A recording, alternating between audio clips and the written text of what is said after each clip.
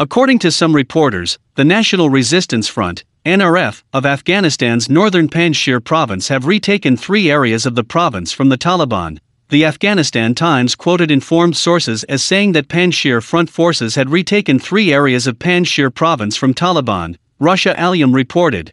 According to the Afghanistan Times, citing informed sources on the Panjshir Front, forces under Ahmad Massoud managed to retake the three districts of Dara, Abshar, and Paryan in the north and northeast of Panjshir province.